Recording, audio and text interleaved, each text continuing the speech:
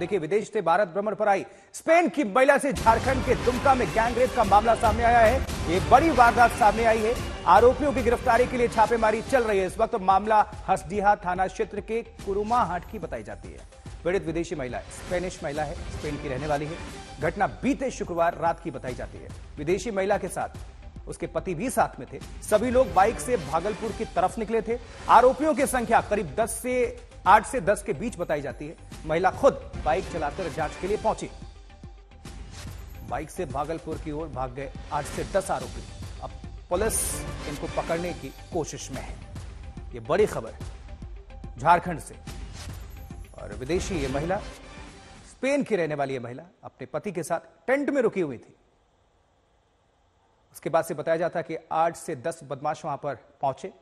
Gangrape की घटना को, वारदात को इस अंजाम दिया और इस घटना ने कहीं ना कहीं शर्मसार किया है क्योंकि विदेशी महिला किस तरह से जाँच हो रही है, वहाँ पर मौके पर पुलिस बल पहुँचा हुआ है, छानबीन की जा रही है कि इस घटना के पीछे कौन से वो लोग हैं। सत्यजीत का रुख करेंगे फोनलाइन पर हमारे साथ हमारे सहयोगी जुड़ चुके हैं। सत्यजीत, इस घटना को लेकर जो भी जानकारी मिल पा रही हो, आप रखें। कि बिल्कुल बड़ी घटना है ये, और ये जो दंपति हैं, वो टूरिस्ट वीज़ा पे इंडिया आए थे। पहले वो पाकिस्तान घूमने गए थे। पाकिस्तान के बाद बांग्लादेश पहुँचे, और बांग्लादेश से वो झारखंड एंटर किए थे।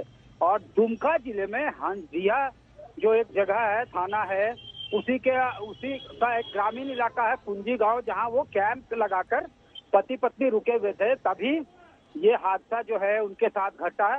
स्पेन की जो महिला थी, उसको उसके साथ गैंगरेप की घटना होती होती है।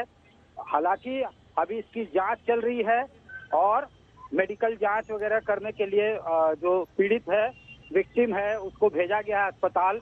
पुलिस जो है वो कैंप कर रही है। पुलिस हेडक्वार्टर से बताया गया है कि इसमें जो है एसआईटी का गठन किया गया है मामले में ताकि जो है पहुँचा जा सके तह तक इस मामले के।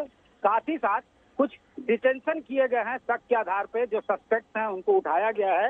एसआईटी का गठन किया गया है। फॉरेंसिक एक्सपर्ट जो हैं, उनको लगाया गया है सर्विस में उनको प्रेस किया गया है। साथ ही साथ जो है इन्वेस्टिगेशन अब जी सत्यजीत, नज़र बनाकर रखिएगा।